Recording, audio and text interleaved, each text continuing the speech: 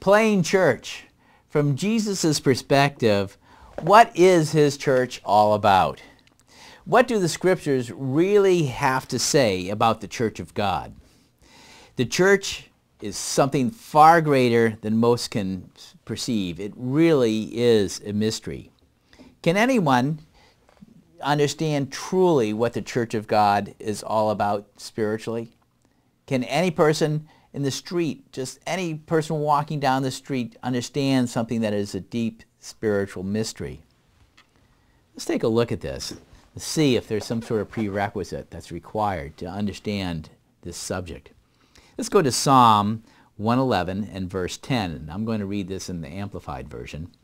Verse 10, the reverent fear and worship of the Lord is the beginning of wisdom and skill, the preceding the first essential, the prerequisite, the alphabet, the ABCs of what it takes to understand something spiritually. A good understanding, wisdom, and meaning have all those who do the will of the Lord. Their praise of him endures forever. So we see here that to understand a spiritual subject, it requires a prerequisite of the reverent fear and worship of God and the willingness to do the will of the Lord. Now I want to read something else that talks about this whole aspect of why this subject of understanding the church is so difficult for people to understand, why it is such a mystery.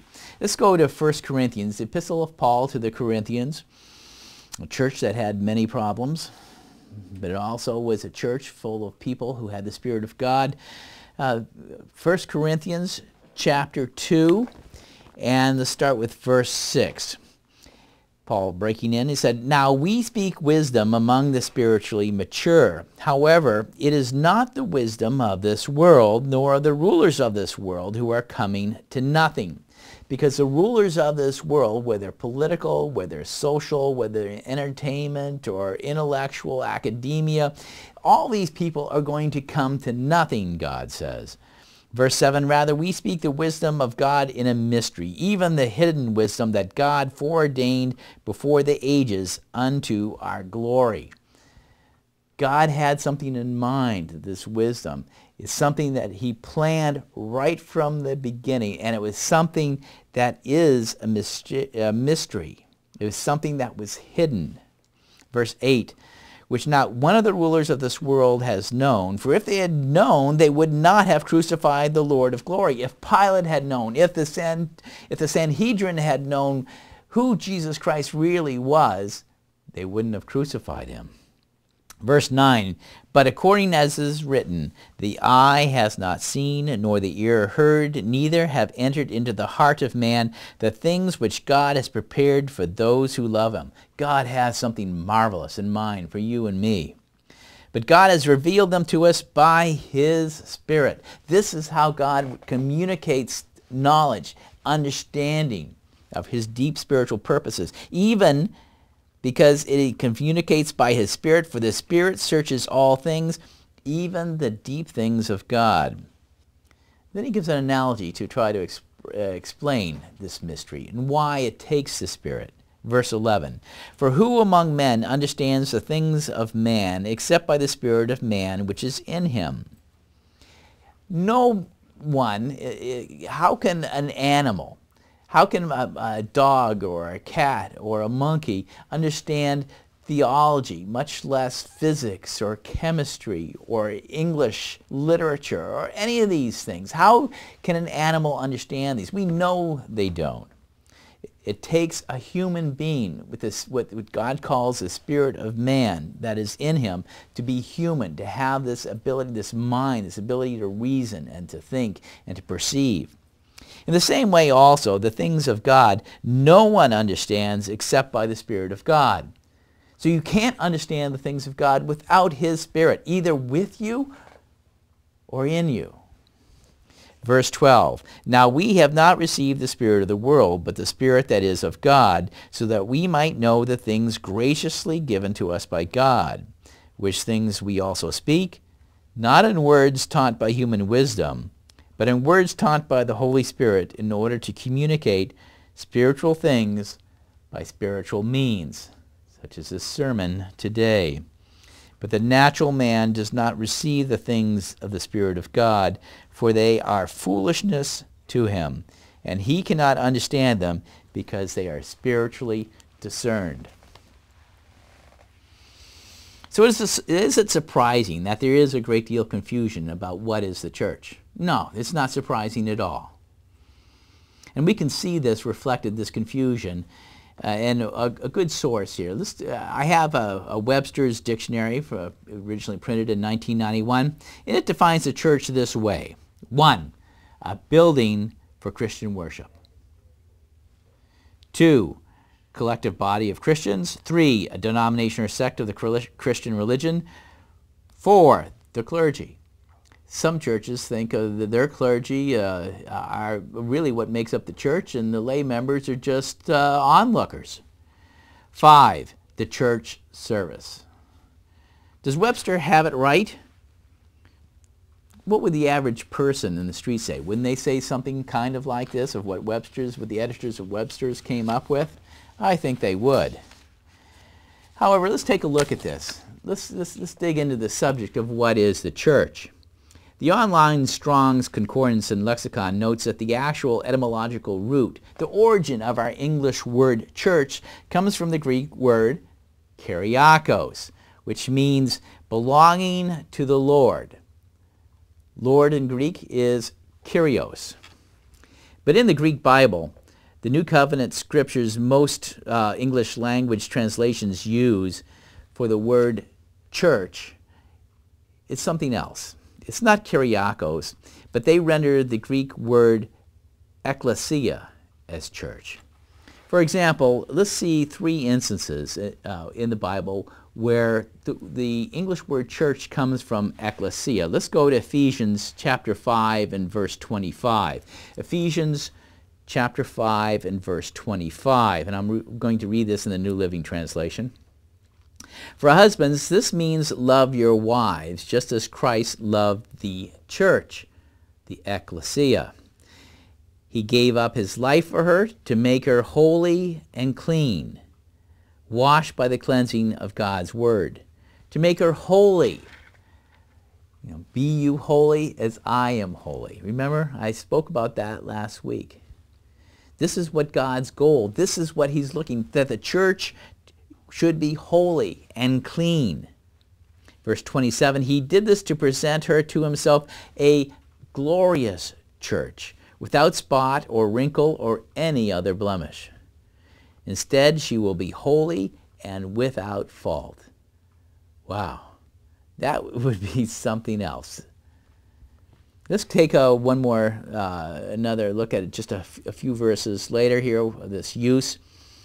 Uh, of where the origin, uh, the, where their translators are coming up with the word church, what the original Greek word is. Let's go to Ephesians 5 and verse 32. Ephesians 5 verse 32. This is a great mystery, but it is an illustration of the way Christ and the church, the ecclesia, are one. Now, let's take a look at the word ecclesia. I'm going to cite, and we'll take a look, and this is something you can verify. You can check up, check up on me here. Uh, if you, in Strong's, there is a system. There was a man a number of centuries ago named Strong who came up with a whole system where he took all the different words in the Greek Bible and he gave them a number and then provided, he went through and did the work to what were the definitions, where did the word come from, what's it related to, what part of speech, all this sort of information. And remarkably, a lot of it's online. And there are also, I have uh, books. They've been printed for really a long time. And Strong's, anyways, takes the word ecclesia, and it's in his system, and you can write this down, is 1577. That's Strong's number 1577. Ecclesia, Strong says, is a compound word. So it's a word that's brought together. It's a compound word. We have compound words in English two things, two different parts come together. And it's derived from Strong's 1537, the Greek word ek, which means out from and to. So it's out from and to. Like you're coming out of someplace and you're going to someplace. Ek, out from and to. and Strong's number 2564, kaleo, to call, to call. So ecclesia, properly defined, is really people called out from the world and to God. They're called out from the world and to God. The outcome being this collective group of people who are called out to God is the church, that mystical body of Christ, the universal, the total body of believers whom God calls out from the world into his eternal kingdom, into the kingdom of God. Consider that most modern translations when you when you when you look in your Bible right now, and it, let's say you go into your Hebrew portion of it, the Old Covenant, the Old Testament portion of this, does the word church appear there? Well, we not normally. We don't normally see the word church there, do we? Is that because there was no church of God, as it were, in ancient Israel? Let's go to Acts chapter 7 and verse 37 here. Let's go to Acts chapter 7 and verse 37. And let's, uh, I'm going to read this in the New Living Translation. I like New Living for a variety of things. I'll be using mostly New Living today and the New King James Version today. And sometimes I'll use the Coulter Bible and sometimes a little bit of the Amplified. So here in Acts chapter 7 and verse 37, here we're breaking in, and it's Stephen who is speaking. Stephen was the first martyr. He was the first one who was willing to put his life on the line for his testimony about Jesus Christ. And it cost him his life to say the things that I'm going to read you right now. But Stephen said this. He said in Acts 7, verse 37, This is that Moses who said to the children of Israel, the Lord your God will raise up for you a prophet like me from your brethren. Him shall you hear. This is he who was in the congregation. The Greek word here is ecclesia. Ecclesia, just like there we were reading in, in, in Ephesians. This is he who was in the congregation, the ecclesia, the church in the wilderness with the angel who spoke to him on Mount Sinai, and with our fathers, the one who received the living oracles, the oracles of God, to give to us, whom our fathers would not obey but rejected, just like so much of this world right now. They won't obey God's oracles. They reject them. And that's where we're called out. We're called out from this world and to God some things haven't changed. In 3,400 years, 3,400 years, very little is different. Whom our fathers would not obey but rejected, and in their hearts they turned back to Egypt. They turned back, Egypt being a type of sin, a type of society that is just human, concerned about human things, not concerned about the teachings of God. Now, again, so this is this is very interesting. Here Stephen is pointing out that the word he's calling the congregation in the wilderness under Moses during the time of the Hebrews wandering after they'd come out of Egypt. He calls them the ecclesia, the church in the wilderness. Where did you get this from? This is interesting. The ancient Greek Septuagint translation of the Hebrew Bible, which is the Koine Greek version of the Hebrew Bible that was translated in stages between the 3rd and 2nd century BC, before the birth of Christ in Alexandria, Egypt, was commonly quoted by those who were writing the Gospels and the Epistles of the New Covenant, of this the Bible that we have. It was the Septuagint was one it was of the it wasn't the only one, but it was the most there was a version that was the most commonly quoted when they were quoting the Old Testament or the Old Covenant. So it was, it's very interesting, the Septuagint translation of the Old Covenant. The two main Greek words that we use to translate Hebrew words in reference to an, any sort of assembly of the people of God in ancient Israel, they use two words, these translators of the Septuagint, and one was ecclesia. One was ecclesia. The other was synagogue. Now I think we have an idea what these are. Ecclesia, which most modern translations, of course, will call the church and refers to a body of believing Christians, the church. But the other words, synagogue, modernly we think of this, we translate synagogue and we think of those who are practicing Judaism. Interestingly, however, among the early believers of the Church of God in that first century, in the, the, the people who knew Jesus Christ, who walked in the Holy Land with him, who were taught personally by him, this distinction in how referring to the people of God, whether ecclesia or synagogue, they didn't make quite that distinction originally. In fact, the apostle James, who wrote the book of James, or the epistle of James, who James, by the way, was the actual brother of Jesus Christ. He also became one of the leading members in the original Church of God at Jerusalem. He actually had a, it's interesting to take a look at how he looked at these words, ecclesia and synagogue, because he actually, uh, he actually is going to use the word synagogue in referring to the church. Synagogue, by the way, is Strong's, um, uh, Strong's word 4864 for those of you who want to check up and want to look at this. But let's go to James 2 and verse 2. I bet you didn't know this. Perhaps you didn't. In James 2 in verse 2, now I'll read this in the New Living Translation and see, see this use of this word.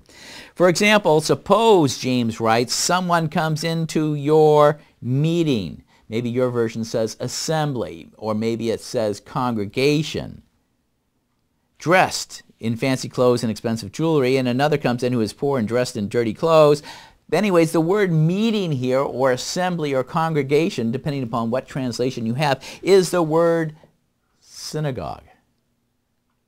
So come, someone coming to church, the meeting, the, the assembly of the people of God, the new covenant people of God, they actually called a synagogue.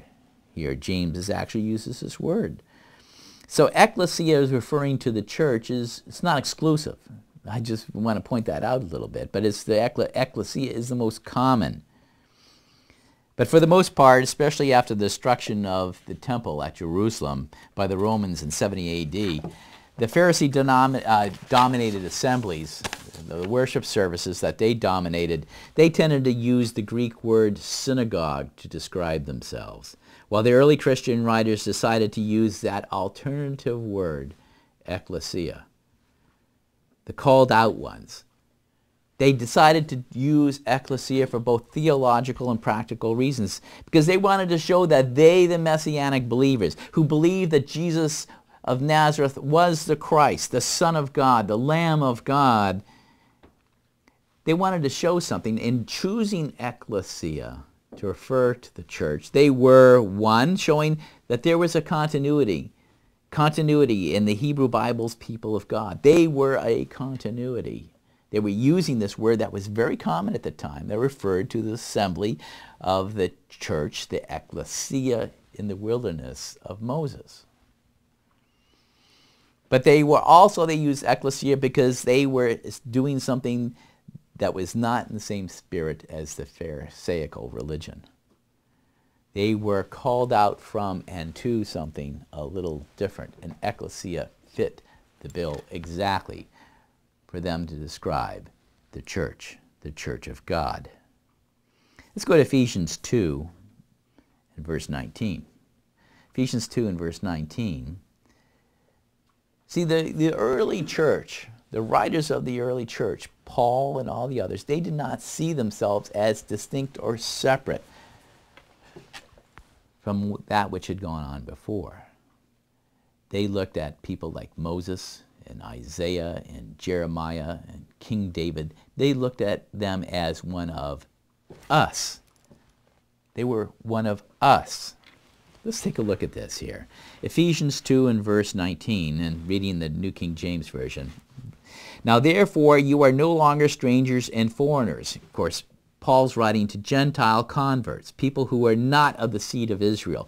He's saying that you're no longer strangers and foreigners, but fellow citizens with the saints, all of those in Jerusalem, those who were of a Jewish background, those who were actually of the family of Jesus Christ, and members of the household of God, having been built on the foundation of the apostles and prophets.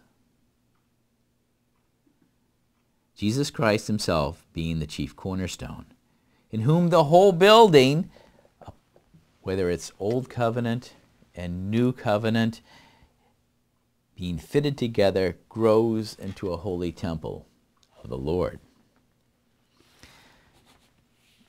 According to Apostle Paul, Gentile converts were being grafted into the root of the people of Israel. And you can check that out on your own sometime. You read through Romans chapter 11. And you can also take a look at this continuity of how they saw this as a continuation. In Galatians 6.16, where Paul is calling the people of God, he's calling the church, those who had the indwelling presence of the Holy Spirit, whether they were Gentiles or whether they were Jews or whoever they were, the Israel of God. That's Galatians 6:16. Check it out for yourself. So the New Covenant in the New Covenant scriptures, the Greek word most translated church is ecclesia. But you know, you can go through all the New Testament scriptures, all the New Covenant scriptures, and you're going to see it's never used in Scripture to refer to a building. See, it's not one of those places with the steeple and the cross. That's not a church. That's not the church. That's probably a shock to some of you. All the New Testament writers use church to refer to a group of human beings, flesh and blood people who were the called out ones. They were called out from the world to God. The spiritual organism that constitutes the true church of God. So what is the church all about? Let's go to 1 Timothy 3 and verse 14. Let's go to 1 Timothy chapter 3 and verse 14. Timothy being uh, one of the Paul, the Apostle Paul's assistants and a, a pastor, an ordained man, young man. I'm going to read this one in the Holman Christian Standard Bible. Okay, there's one more here. I, I like this one too because of all the, their notes. I want to take a look about what the Church of All is got, uh, what the Church of God is all about because there is a mystery of godliness. There's some something, a very deep spiritual lesson here. And Paul is writing in his instructions to a younger man who is in the ministry. He's writing this. He's telling Timothy this. He says in verse 14 here of 1 Timothy 3, I write these things to you, hoping to come to you soon. But if I should be delayed, I have written so that you will know how people ought to act in God's household, which is the church of the living God. He's saying so that you will know how people are to behave in God's household. That's I have a household. I have a wife. I have a children. I, you know, this is what my household. We're in God's household, Paul is writing Timothy. It's the church of the living God. God is not dead. He's alive and very well. The church of the living God, the pillar and foundation of the truth. The church of God is where you can find the truth, where you can find the foundational teachings of what it means to be holy as he is holy. Verse 16, and most certainly, the mystery of godliness is great, and it's true. The mystery of godliness is great. He was manifested in the flesh is Jesus Christ, the one who was the Logos, who had existed before the world was created. Justified in the Spirit, seen by angels, preached among the Gentiles, believed on in the world, taken up in the glory. There is a mystery of godliness. Let's go to 1 Corinthians, 1 Corinthians 3 and verse 13. Here I'm spending a little time here with the Apostle Paul's writings. 1 Corinthians 3 and verse 16. Talking about what is the church? What is it? I mean, it's important for us to, to really have that in our minds. What's the church of God all about? 1 Corinthians 3 and verse 16. Don't you know that you are God's sanctuary? Paul is writing to these Corinthian brethren. People who had real problems. People who were real human beings, but people who had repented and been baptized, who had received the Holy Spirit, just as the original apostles had on the day of Pentecost, and many thousands of others, of Jews who converted to Christianity. Don't you know that you are God's sanctuary and that God's Spirit lives in you? See, a sanctuary in the old days, when they had temples and things, whether it was a pagan temple or whether it was God's temple in Jerusalem, it was built as the house for God. That's where the God dwelled, or the representation of God. When you read through the Hebrew Bible, you'll see that in establishing the sanctuary and in, within the Holy of Holies, you had the mercy seat where God would actually sit. And he would walk in, this, in the temple. He would be there. His presence would be there. So he's saying, Paul is saying, don't you know that you, you human Corinthians, that you are God's sanctuary and the Spirit of God lives in you. Let's go to the next book, 2 Corinthians. Paul continues to, the same, to the same people. He's making the point again. Make sure you get it of what the whole thing is about. 2 Corinthians 6 and verse 16, he's saying, And what agreement does God's sanctuary have with idols? The answer, of course, should be none. For we are the sanctuary of the living God. As God has said, I will dwell among them and walk among them, and I will be their God, and they will be my people. So, again, as God's sanctuary, just like in the picture, if you picture in your mind God's holy temple, where God would come in presence and walk and be there and see everything that was going on. We are God's sanctuary, and God is dwelling among us, and he's walking among us in us. He's saying, I will be your God, and you will be my people. It wasn't just, of course, the Apostle Paul who had this perspective. Let's go to 1 Peter. General epistle of Peter to all written to all the congregations of the Church of God at the time. 1 Peter 2 and verse 5, it says this. Breaking into the middle of his thought here, you yourselves, you, the people I'm writing to, you, Christians, you as living stones, okay, taking the aspect of stones being, of course, the ancient temples were constructed of extremely expensive cut and dressed stones. They were nice, they were squared and they had their edges nicely, nicely uh, chiseled and these were precious stones as living stones are built into a spiritual house for a holy priesthood to offer spiritual sacrifices acceptable to God through Jesus Christ.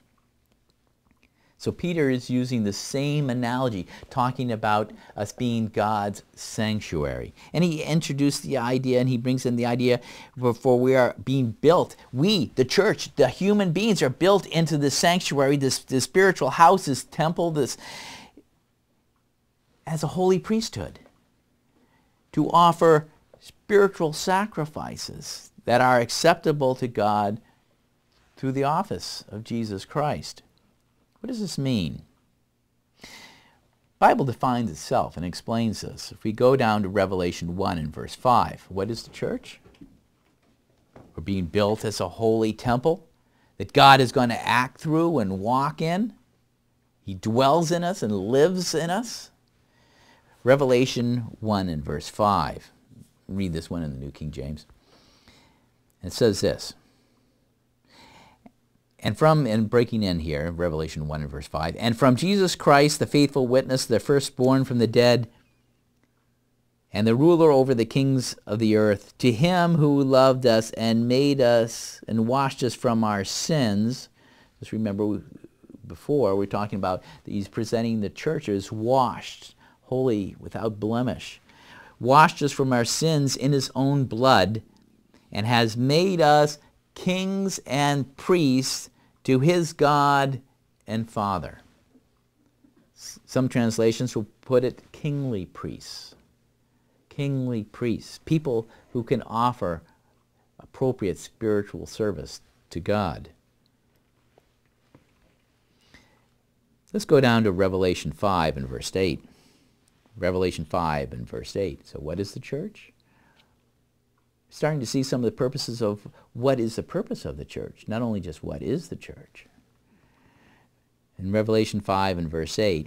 Now when he had taken a scroll, and four living creatures and the 24 elders fell down before the Lamb, each having a harp and golden bowls full of incense, which are the prayers of the saints. And they sang a new song, saying, You are worthy to take the scroll, referring to Jesus Christ, and to open the seals, for you were slain, and I have redeemed us to God by your blood, or bought with a price out of every tribe and tongue and people and nation among all of humanity and have made us what?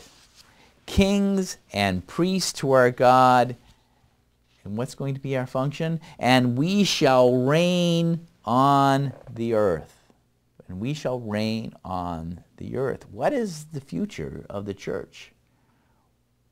Think about that. He's making us kingly priests, kings and priests. We're going to reign on the earth. Let's see a little more of this, Revelation 3, and it goes on and talks a little bit more about the future, the future role, the future mission of the church, so you can understand what is our purpose. Revelation 3 and verse 20 says this, Behold, I stand at the door and knock. If anyone hears my voice and opens the door, so there's a voluntary component about this. See, God may call, but do we respond? God may suggest through his Spirit, do we hear and listen? Or do we do something else? I will come in to him for those who open the door to him and dine with him and he with me. So here's the picture. Of God actually coming into our house sitting down with us at our table and eating with us. To him who overcomes, I will grant to sit with me on my throne. As I also overcame and sat down with my Father on his throne. You mean if we overcome, we're going to have permission, it's going to be granted us to sit down on Christ's throne as Christ sits on his Father's throne, the throne of God. That is an incredible, incredible future. That is an incredible promise. But you notice, it's not just anyone. It's those who overcome. Whoever overcomes, overcomes the world. We're called out, ech, from this world to God. Lasia, ecclesia. We're called out. God calls things what they are. If we overcome, we will sit with Christ. He promises that. It's a promise he's given us. And Scripture cannot be broken. We will sit with him on his throne. Verse 22, He who has an ear, let him hear what the Spirit says to the churches. We listen, if we hear, God is saying, pay attention. You know, it's important for us to pay attention because we should know God is calling us as kingly priests for a purpose. We're called for a purpose, and it's not just receiving our own salvation. Otherwise, God's a respecter of persons. He has a job for us. He has a plan of salvation he is working out. Yes, we, we talk about his plan of salvation throughout the year because we have, God has his holy days, his annual Sabbaths, which reveal what these things are, how he is going to intervene on behalf and take charge of this world to bring humanity back to him. But it's, a way it has to be done. And the church plays a fundamental role in this. We are the ecclesia. We're called out from this current world and we're being transferred and developed to God to overcome everything that would hold us back. But God is not a respecter of persons. He's not playing favorites. We're not God's little pet people in the church. We're here for a reason. And there is responsibility and accountability as part, if you're going to be part of the church. You, you need to know that. If you are part of the church, you probably already know this, but it bears in mind to remember. Let's go to 1 Peter chapter 4 and verse 17. 1 Peter chapter 4 and verse 17. And Peter reiterates some of the things we've already heard and learned. He's saying, however, in verse 17, For the time has come for judgment to begin with God's household. Judgment begins at home first. Just like charity begins at home first, judgment begins at home first. And if it begins with us, what will be the outcome for those who disobey the gospel of God? Those who disobey will not see what is good. They will see something else. But hopefully that's not our outcome. It's not your outcome. It's not going to be my outcome. But he's saying very clearly to us, and it's something that's serious. For the church, for the time has come, uh, come for judgment to begin with God's household, the church. So what is the church all about? It's, it is about being part of God's household, his temple in which he's going to dwell in us through his Holy Spirit. It's about growing and overcoming so we can sit with Christ on his throne, with him, as his kingly priest to assist him when he reigns on earth during this period of time that is called the millennium, the thousand-year rule. This is what the Bible talks about. This is the function. This is the future of the church.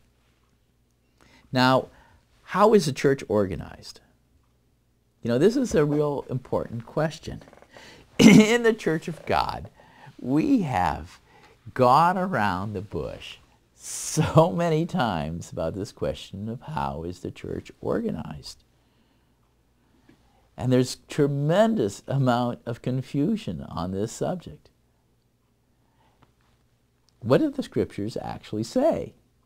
you know, it's, it's really what the scriptures say that count more than what men have been saying or have written or anything else or whatever your prejudices are. What do the scriptures say? Well, let's take a look. Let's go to Colossians 1 and verse 17 and let's establish one thing up front. Colossians chapter 1 and verse 17 epistle of Paul. Paul's writing this. He says this. And he, Jesus, that is, he, and the pronoun here refers to Jesus Christ, is before all things. And in him all things consist. He's been around a lot longer. He is the creator of everything that is. If it's, if it's here, Jesus had something to do with it. He's the reason it's here. And he is the head of the body, the church. Okay, Paul, the Apostle Paul, is saying that Jesus Christ is the head of the church. It's not the Pope. It's not somebody else. Pope wannabes. It's not them, okay? Christ is the head of the church. He is alive. Nobody's going to take his seat. Nobody's going to take his position. You can't slander him and get other people to vote him out. You can't do that. You can't get a bunch of elders to, you know, disgruntled and outvote you on the board. No, Christ can't be outvoted on the board. He can't be outmaneuvered. He doesn't, that's, that's Christ is the head of the body, the church, who is the beginning, the firstborn from the dead, and in all things he may have the preeminence. I think there are a lot of people that need to think that we are just dust. And Jesus Christ is the Son of God, born, firstborn from the dead. And he has promised he will have preeminence throughout eternity. And there's some people who better get used to that idea because they're not going to finagle Christ out of his position and take it for themselves. Or say they are ruling in Christ's place and they'll do as they please. No, Jesus isn't allowing that. The church is organized with Christ as the head of the church, now and forever. Let's go to Ephesians, Ephesians chapter 1 and verse 20. Let's take a look at this. Ephesians chapter 1 and verse 20. Which he worked in Christ when he raised him from the dead that's the Father worked in Christ when he raised him from the dead and seated him at his right hand in the heavenly places, far above all principality and power and might and dominion and every name that is named not only in this age but also in that which is to come. And he put all things under his feet and gave him to be head over all things to the church, which is his body. The church is the body of Christ. It is a spiritual organism. Christ is spirit the fullness of him, fullness of Christ, who fills all in all. We're God's, we're Jesus' temple, his sanctuary. He walks in us and moves in us. Christ's body is a church for which each individual, he's the head of the church and he fills the church. It's Christ's body. Each individual member in this body is contribute to what? To the body's welfare and to help accomplish Christ's purpose. The purpose that he has for his body. Christ organizes his body and his church as it pleases him.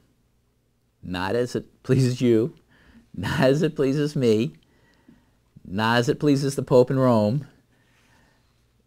God has allowed Jesus Christ to do this. He organizes the body. He gave him to be head over all things to the church, which is his body, the fullness of him who fills all in all. I want you to read it here, and I want to talk about this a, a little bit.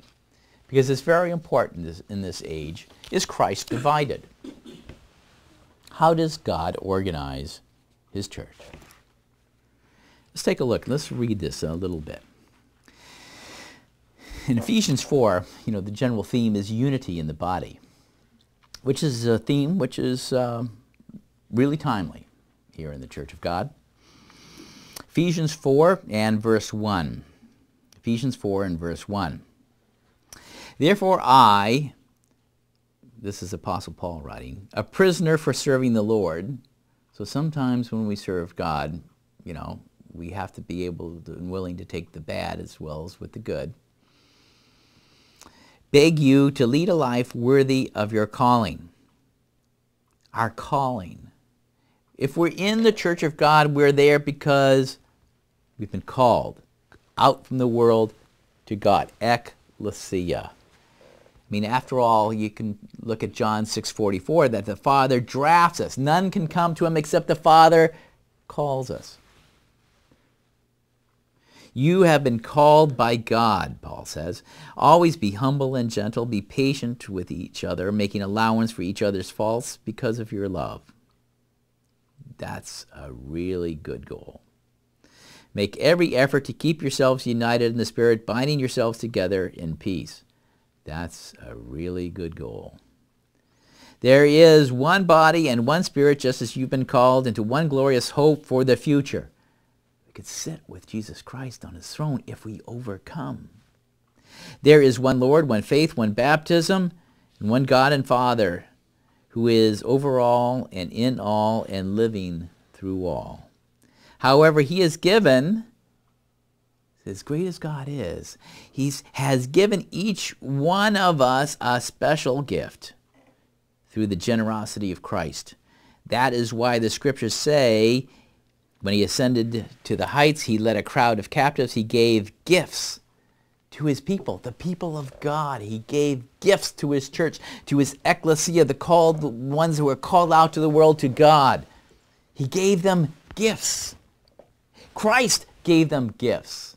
It's not the Pope who gave them gifts. It's not some sort of human being who gave them gifts. It's Christ who gives the gifts in his church. Verse 9, notice that it said he ascended. That clearly means that Christ also descended to our lowly world.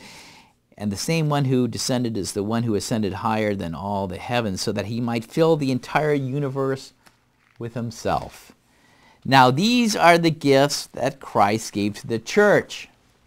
The apostles, the missionaries, the ones sent out to preach, the prophets, ones uh, reveal God's will, the evangelists, bringing the gospel, the evangelon, the good news of the kingdom of God, and pastors, those to shepherd and care for the people of God, and teachers to instruct them the ways of righteousness to be so that they can be holy as he is holy. Verse 12, the responsibility is to what?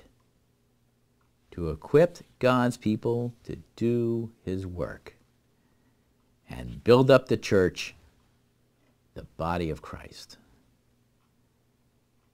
Responsibility in these gifts of what God gave to the church is to equip the people to do his work. And much of that work is not just focusing on ourselves. It's not just having potlucks and enjoying ourselves and having a nice social club. It's to do his work, to build up his church, to grow. Because it's the body of Christ. Verse 13, this will continue until we all come to such unity in our faith and knowledge of the God's Son that we will be mature in the Lord, measuring up to the full and complete standard of Christ. We've got a ways to go yet, don't we? Verse 14, then we will no longer be immature like children. We won't be tossed and blown about by every wind of new teaching. Every little theological fad that sweeps the earth seems to find some sort of resonance in the Church of God. We will not be influenced when people try to trick us with lies so clever they sound like the truth. Oh, if we just listened to this so carefully 25 years ago. But we didn't. Far too many of us were willing to listen to lies, so cleverly dressed up. And in fact, one would have to say many people in the church are still tossed to and fro, blown about, immature children. One of the reasons why we have not come up measuring to the full, complete standard of Christ yet. Verse 15, instead we speak the truth in love, growing in every way more and more like Christ, who is the head of his body, the church. He makes the whole body. He, Christ, makes the whole body fit together perfectly. He cuts the stones individually according to their measure and their shape and their character, and then puts them together himself the way he chooses, the way he sees fit. That's the way you build a temple of God. As each part does its own special work. Each part is doing its own special work. It helps the others grow. That's the attitude. It helps the others to grow so that the whole body is healthy and growing and full of love. Just think about that. We had all these human fellowships that call themselves with various adjectives of one form or another. Churches of God, whether they're prefixes or suffixes or however they do it these days, and there are a pile of them. If they were all working together, doing each their own special work, according to the spiritual gifts that God has given his people, so that they help the other parts grow, then the whole body would be so much healthier and growing and full of love instead of what we have right now.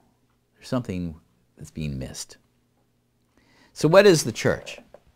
It is a spiritual organism of all believers indwelt by the Holy Spirit. The church is not a human corporation. The church is not a human corporation. The church is not a human corporation or organization. Christ is not divided. There may be many, many, many human fellowships. But they're human fellowships, organized for the purpose of building up the body in love, doing the work that has been re- requested. I want you to notice something. I want you, let's read something here. I want you to read with me. Come with me. Here I'm going to read in this particular Bible, the Holy Bible in its original order. I want to read in 1 Corinthians chapter 12. 1 Corinthians chapter 12.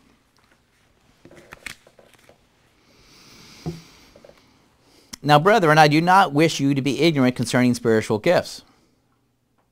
Okay, please pay attention. Let's not be ignorant. You know that you were Gentiles. Okay, he's taught writing to the Corinthians. Most of them were Gentiles. They were not of the seed of the children of, of Israel. And were carried away with dumb idols as you yourselves were led away again and again. Okay, so you were dumb. Therefore, I am letting you know that no one speaking by the Spirit of God calls Jesus accursed, and no one can say that Jesus is Lord except by the Holy Spirit. Now, verse 4. There are differences of gifts, but the same Spirit. You should notice that. And there are differences of administrations, but the same Lord. Verse 6, and there are differences of operations, but it is the same God who is working all in all. But the manifestation of the Spirit is given to each one for the benefit of all. That's what, this, that's what the purpose is.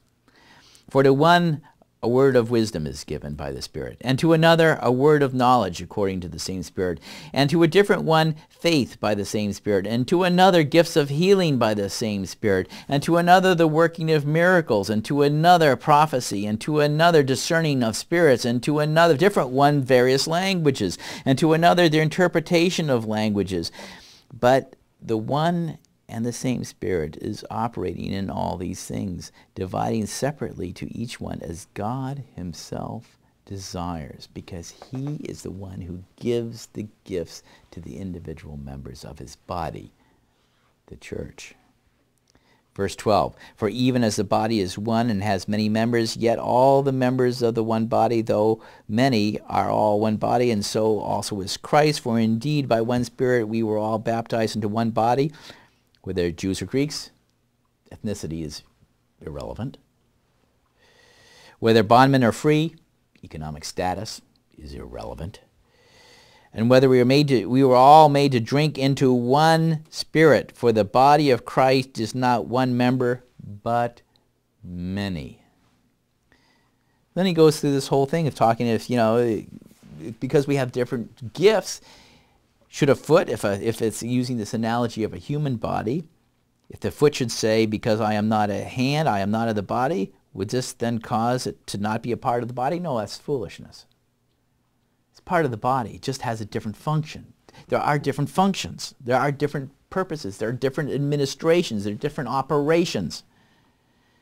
And what if the ear should say, because I am not an eye, I am not of the body? Would this then cause it not to be part of the body? Well, no, that's ridiculous.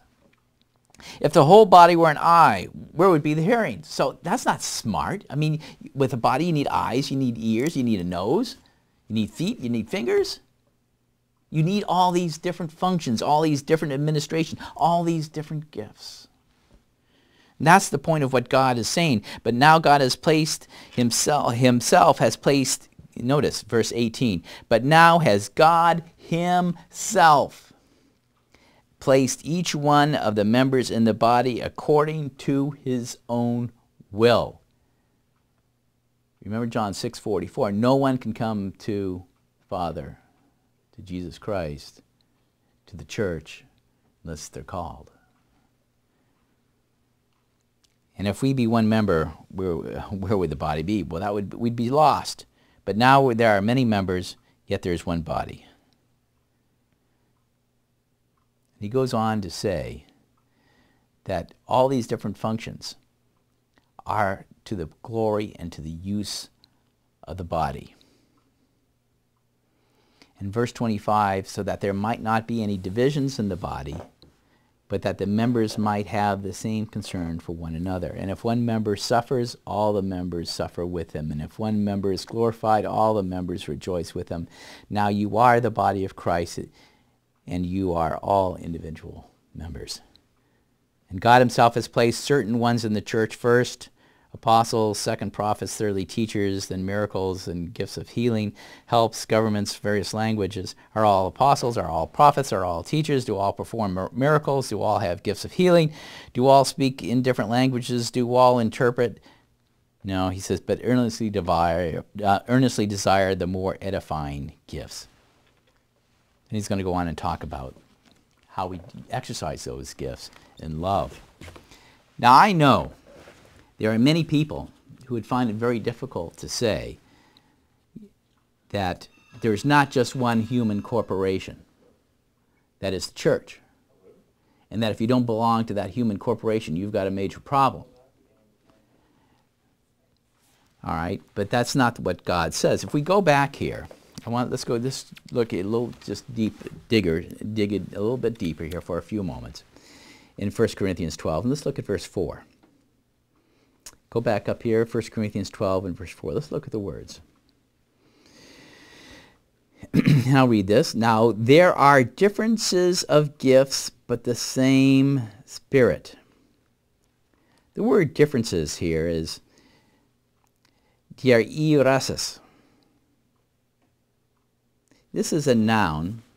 It means division there are, there are differences. There's division, there's distribution, there's difference, there's distinction. The proper intent and definition of, of this Greek word, which is Strong's, by the way, 1243,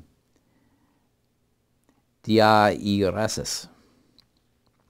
It means it's the proper intent is God's choice is to give a sovereign endowment of grace to his people so they can reach out across to others as his hand is extended. Differences. It's a distribution. It's reaching out, using those gifts that one receives from God to reach out to others, to extend God's grace to others. Now there are differences of gifts, but the same Spirit.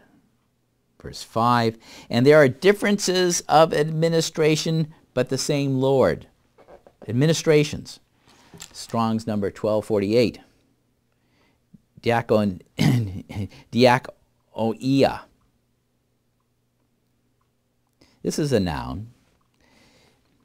Diakonia. Waiting at table, service, administration, ministry, active service, done with a willing volunteer attitude. Know, it's a very interesting word. It's a word also we, you know, it, we, we use it otherwise for, for deacons for ministry. But we're talking here, for the believer, we're, we're talking about spirit-empowered service guided by faith. So there are differences, as I was saying here in this word, differences of administrations. Diakonia, but the same Lord the differences of services, spirit-empowered service. And in many ways, uh, and as I mentioned, this word uh, there's a there's a there's a there's a there's a very close definition here in Strong's 1241 of diakonos, which is ministry. Ministration, ministry. Ministry usually refers to the of the Lord, inspiring, his servants to carry out his plan for his people. His ministers serving in whatever capacity they find themselves. A.T. Robertson takes this word, diakonos, that we translate quite often deacon, and he properly renders it as someone is kicking up dust when going to run on an errand. Our administrations God has given us gifts so that we can kick up some dust while we're going about doing what he has given us to do, using the gifts that he's given us to do. Let's go down to the next verse here in 1 Corinthians 12 and verse 6. And there are differences of operation, operations, but the same God who is working all things in all. the word operations here is Strong's 1755, and as energema. You know, this is talking about a working, an effect, an operation. Properly, it's an energizing. Operations is focusing on the results of God's energy in the people living by his faith.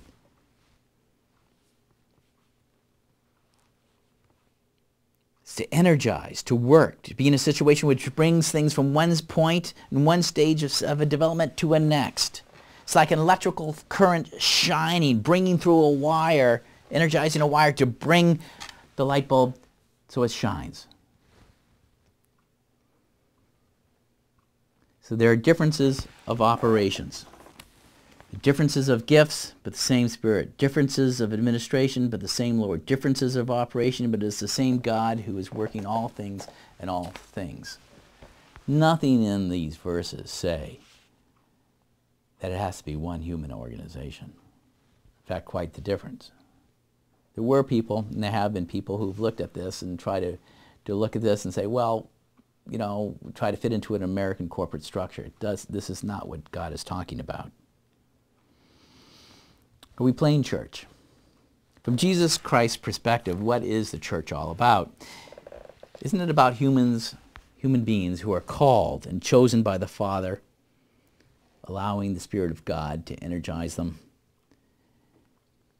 to use the gifts that God gives them, to get about kicking up the dust in their service of using what God has given them, using those talents, going to the, or the parable of the pounds, using what we've been given to God's glory, displaying profitable activity in everything that we do as Christ directs us. Well, I think it is. And I think this is what 1 Corinthians 12 is all talking about. Because we are the ecclesia. We are called out from the world to God, and we have to overcome Satan while we're doing this. We have to overcome the world. We have to overcome all the different things that are keeping us from reaching that full maturity in the stature of Jesus Christ. Because he wants to present the church to him without spot, without blemish, without wrinkle, a holy church, so that we can be found with him sitting on his throne, serving him as his kingly priest in the kingdom of God.